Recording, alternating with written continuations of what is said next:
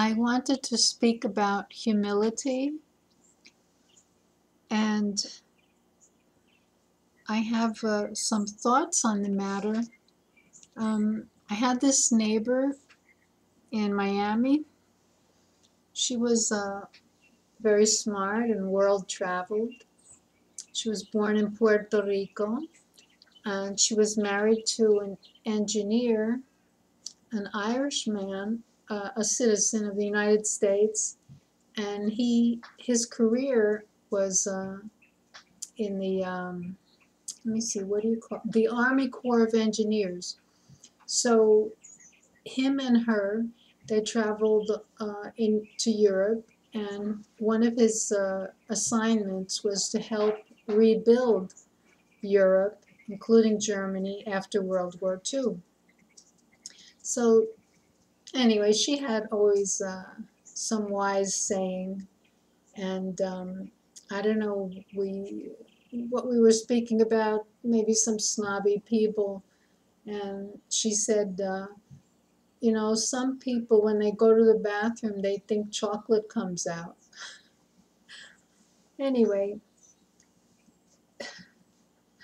Um, when I uh, think about humility, I, I remember what she said and really, no, no matter how educated we think we've gotten, and um, no matter how many honors people have given us, or good deeds we did, or or, or high IQs, or, or or compliments, or whatever,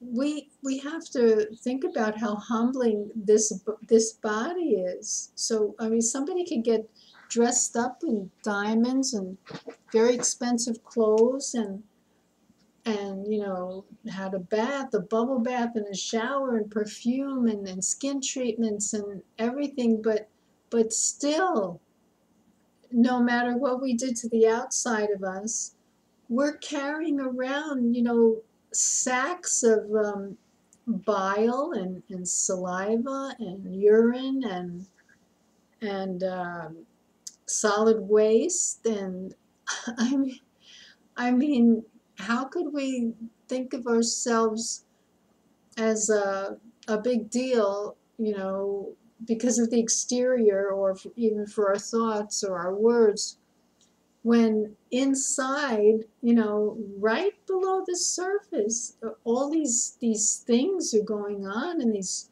these fluids being produced and and uh, antibodies and, and white blood cells attacking and invading uh, bacteria.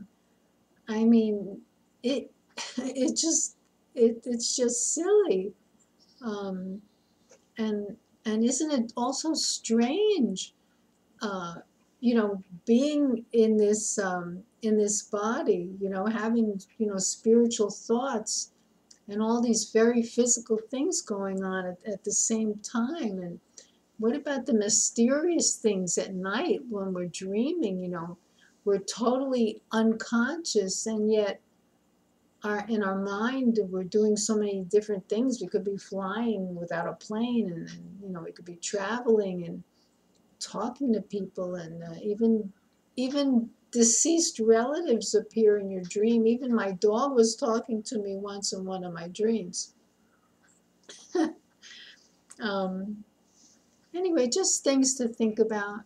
And also, when I'm thinking about things like this, or I come up with, you know, what I think is a good idea, I I remember about, you know, people that have uh, taken um, what do you call it? Um, when you're taking a drug that uh, you don't need for a health reason.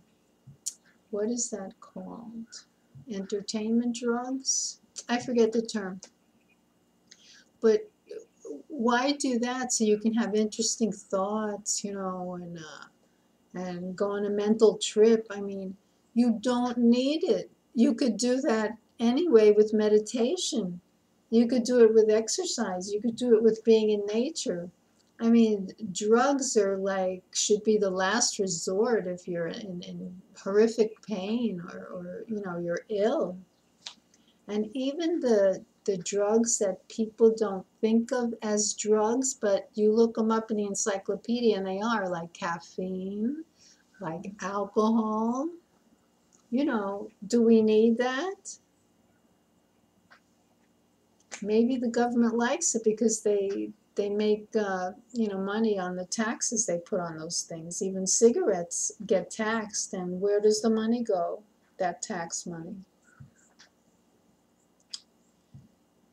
Anyway, um, random thoughts, I guess. Think about it.